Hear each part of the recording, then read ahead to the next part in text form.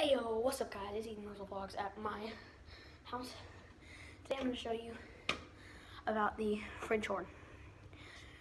So I've been going to French horn class and I've been doing a lot of stuff and today I'm just going to show you what stuff we've learned and what the whole French horn is made of. So I'm going to start off with the back, which is called the business side. As you can see here, there's three valves the trigger. These are three valves right here. You can't really see them my fingers in the way. This right here, this is the mouthpiece. Um, this is a burp. It is not put on, but it is um, it's it's put on, but it's not like built into the instrument. This is a mouthpiece. We can just easily just twist it out, twist it into the burp.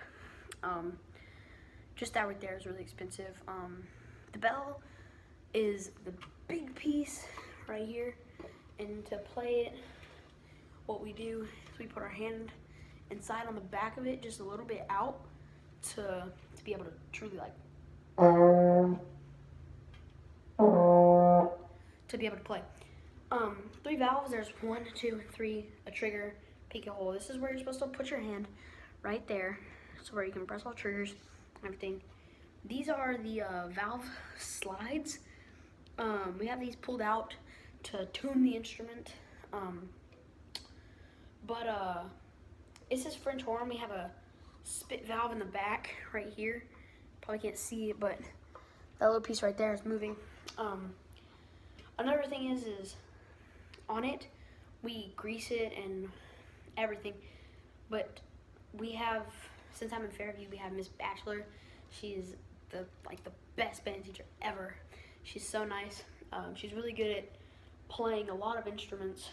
Um, she taught us how to grease the uh, the knots, which I like to call them, or the little knots. I feel like knots, and the slides and everything. We got to we we like complete like we can take these out. First slide, there we go.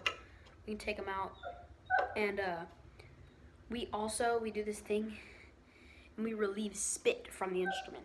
We take the back two slides out. I'm not gonna do it right now because it's kind of gross, but we take the back two slides out completely and we'll twist it over, well, wrong way, but we'll twist it over like this and all the spit will drain to those and it'll just come out. It's so gross.